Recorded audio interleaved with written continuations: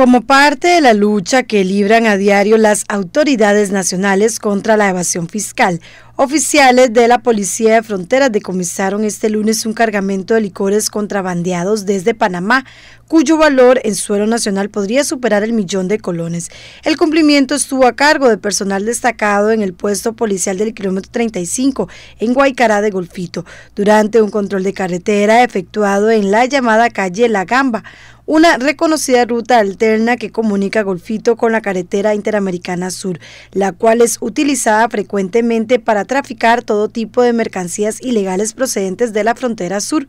En ese lugar, los oficiales fronterizos revisaron un automóvil procedente de la frontera con Panamá, el cual era guiado por un costarricense apellido Godínez, quien no presentaba ninguna documentación que lograra comprobar el debido pago de impuestos.